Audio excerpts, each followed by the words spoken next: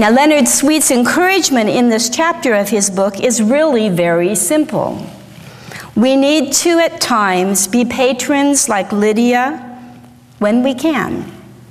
At other times, we need to allow ourselves to be humble beggars, like the poor man Lazarus, and be served when we are in need. He points out that it's frequently easier to give than it is to receive to serve than to be served. And we need to be in relationship with those who are patrons, those who invite us to come for a meal and rest and be refreshed. And we need to be in relationship with those who are in need. We are required to walk humbly with others who need us. I will never forget after I left here to minister with the people at the San Marino Congregational United Church of Christ. Just a few months after I was the minister there, a man walked into the office and asked to see the pastor. We sat down to talk. He said, I need help. I need help to make myself ready to live without a home. And so I listened. As he continued his story, I learned that he and his wife had been, had been public school educators. They had no children, and their parents had died within the last several years. During their recent history, his wife had been diagnosed with a very slow but life ending form of cancer. She went through treatment, but over the years, her insurance was canceled so they sold their home and rented. He lost his job because he needed to have time to take care of her. Eventually, she died. A member of the congregation and I took him to get a sleeping bag and a few other items. The only thing that we asked of him was that he come by regularly to check in with me and with the congregation. Well, as life happens, eventually he moved on to other areas. We lost touch. But I think of this man often. When I am at Union Station Family Shelter, where we serve a meal for families on Sunday evenings, I remember that each person has a story. There, we are allowed, once all have been served, to serve ourselves and to sit down and visit with the people who are sheltered there. By doing that, we not only show them that we eat and enjoy the food that we serve them, but that we are interested in their lives. We are in relationship.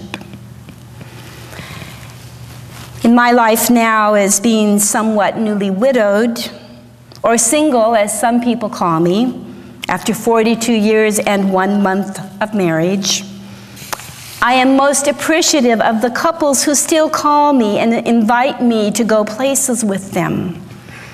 One couple calls every time they're headed out to a British pub for dinner, a place where my partner John and I used to go with them. Many people do not know what to do with newly widowed or divorced people, except to put them in a box, a box that says, well, they no longer belong in these groups anymore. In today's times, the struggles seem to be getting greater. I have two sets of friends who have needed to put off surgery for cancer because they cannot afford to pay the deductibles on their health care until they become of Medicare age. And we know what waiting for that kind of situation can do to someone's health. This sounds like politics, doesn't it? Well, you know, Jesus was reversing, turning things topsy turvy during his time.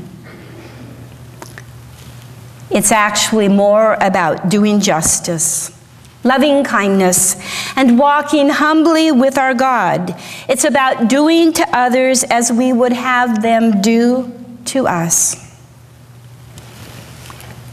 Jesus and later Paul modeled for their followers the humbleness of allowing others to serve them. They modeled the humbleness of walking alongside of all kinds of people.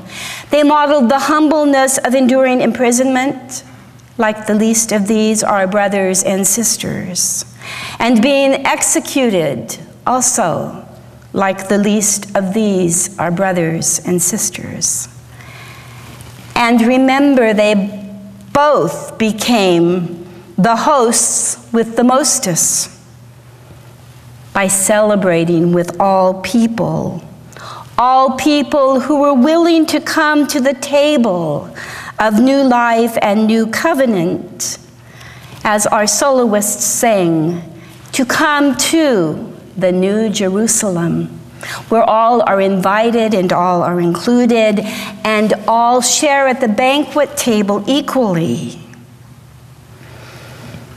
I don't know about each of you, but I can never share a meal with anyone without remembering how on Maundy, Thursday, which means Commandment Thursday, Jesus invited his disciples and others who were gathered there to eat and to drink in remembrance of him. The commandment that he restated again during the Last Supper was to love one another as I have loved you. To love one another as I have loved you.